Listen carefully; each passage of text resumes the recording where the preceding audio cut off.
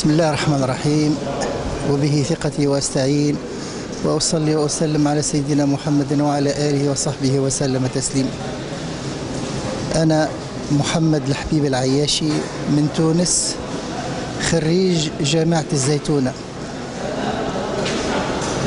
هذا الاجتماع يأتي في إطار وحدة الأمة التي أمرنا الله بها سبحانه وتعالى وإن هذه أمتكم أمة واحدة وأنا ربكم فاعبدون. وإن الأمة في حاجة ماسة إلى أن تكون موحدة أن تكون متراصة الصفوف. الجسم الواحد كما قال صلى الله عليه وسلم إذا اشتكى منه عضو تداعى له سائر الجسد بالسهر والحمى. هذه الأمة التي تداعى لها الأكلة على قصعتها. هذه الأمة يتداعى عليها كما يتداعى الأكلة على قصعتها. قيل أو من قلة نحن يا رسول الله؟ قال لا ولكنكم غثاء كغثاء السيل.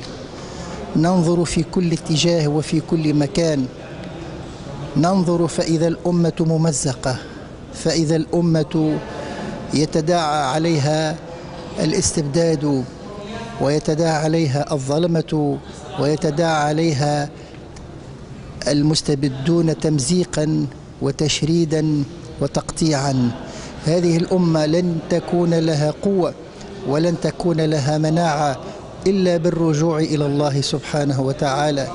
فما يحدث في كشمير وما يحدث في غزة وما يحدث في العراق وما يحدث في فلسطين هو حاجة ماسة إلى أن تكون أو إلى أن تعود هذه الأمة إلى ربها لأن في وحدتها قوتها وفي تراصها قدرتها على أن تواجه التحديات بإذن الله سبحانه وتعالى. نحن أمة واحدة ورب واحد ودين واحد ورسول واحد صلى الله عليه وسلم. علينا أن نعبئ أنفسنا تعبئة إيمانية وعلمية ومعرفية. ننفض عن أنفسنا التخلف والانحطاط. ننفض عن أنفسنا الركون والتبعية. نريد أن نكون أمة متحررة. نريد أن نكون أمة بقيادة محمد صلى الله عليه وسلم. وإن هذه أمتكم أمة واحدة.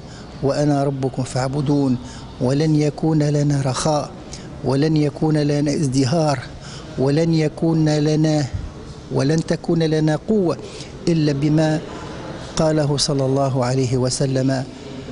تركت فيكم ما إن تمسكتم بهما لن تضلوا بعدي أبدا. كتاب الله وسنتي. والسلام عليكم ورحمة الله تعالى وبركاته.